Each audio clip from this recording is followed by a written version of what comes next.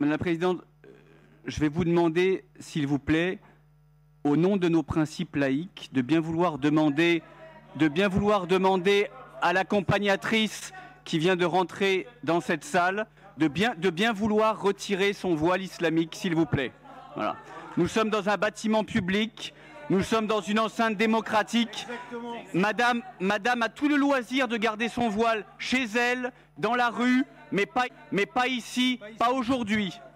Donc s'il vous plaît, au nom de nos principes républicains, au, au nom aussi, au nom de toutes les femmes qui luttent dans le monde pour justement s'extirper de la dictature islamique, je vous demande de bien vouloir demander à cette personne de retirer son voile. C'est la République et c'est la laïcité. Madame a tout le loisir et la liberté de garder son voile en dehors et dans la rue, chez elle, mais pas ici. C'est la loi. c'est la loi de la République. C'est la loi de la République. C'est la loi de la République. C'est- Pas de signe des ostentatoire. républicains. Pas de signe est des ostentatoire. républicains. Si, vous, si cette personne ne sort pas de la pièce, nous ne participerons pas à la suite de cette séance. C'est pas un problème. Oh putain, on a le don de se foutre des problèmes. Oh mais franchement là, franchement là, où ils auraient quand même pu regarder.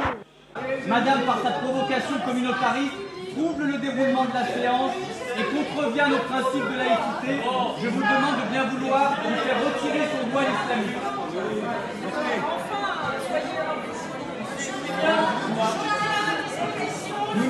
Madame la Présidente, si, vous- si cette personne ne sort pas de la pièce, ne participerons pas à la suite de cette séance.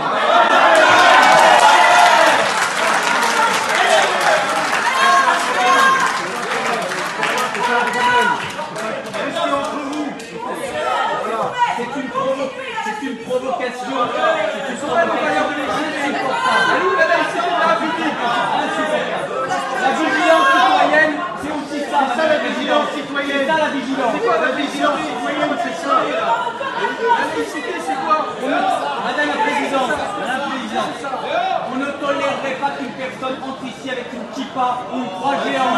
On ne tolère pas qu'une personne rentre avec un voile islamique qui est signe ostentatoire. C'est le respect de la loi et des principes.